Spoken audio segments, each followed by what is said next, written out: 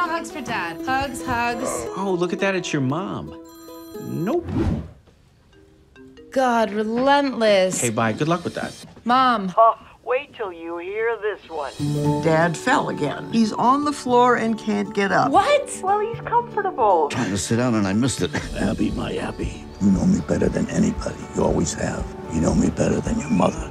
Call the caregiver agency. I gotta fire another one. Oh no, Mom. What did he do? He was giving your father marijuana in the form of cute little oh bears. Mom, he was one of the good ones. Morning. Hi, come on in. Hello, Muscle. Hello yourself. I'm Jade, the landscaper. I've got some landscaping. I could use some help. Oh my God, I want to die.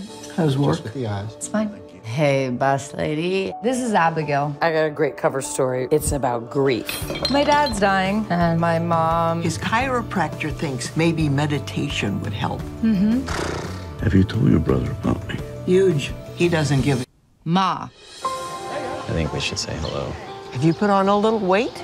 You should have heard what she was saying to him. You have to get yourself out of there. Hey, what's up? I wanted to talk to you about Dad. Oh, I don't know, uh, it might be the last. Yeah, no, I get it.